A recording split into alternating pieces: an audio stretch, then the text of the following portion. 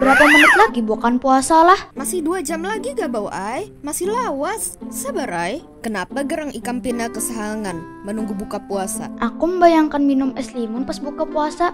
Biasanya aku minum tiga gelas. Uma ai, banyaknya minum. Sesuai aja lawan awakku. Kenapa harus es limun? Nyaman banar kah gak bau? Aku kada suah pang. Biasa aku minum es nyur aja. Nyaman banar minum limun tuh, apalagi bercampur es. Amun aku lebih suka banyu soda, meriga-riga imbahnya. Limbah meriga, kesakitan perut kayak semalam. Itu karena kebanyakan minum aja, 4 botol. Uma ai, banyak dari aku minum limun. Ujar orang sebaiknya banyak minum banyu putih pang. Tapi kayak apalah, minum banyu putih ini rasa ngalih menaguh. Ikam jar siapa harus banyak minum banyu putih? Ujar si Din ini nah. Ayo kita tonton video dia.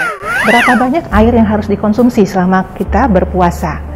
Pada dasarnya, yang harus dikonsumsi pada orang sehat ya, tidak ada gangguan jantung, tidak ada gangguan ginjal, eh, minimal mengkonsumsi 2 liter air per hari. Itu adalah sekitar rata-rata 8 sampai 10 gelas air per hari.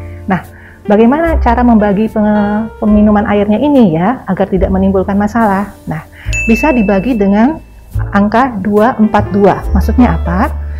Eh, dua gelas saat berbuka, empat gelasnya nanti di selanjutnya ya setelah misalnya kita buka setelah tarawih semuanya baru empat gelas selama malam itu dan dua gelasnya adalah pada saat sahur.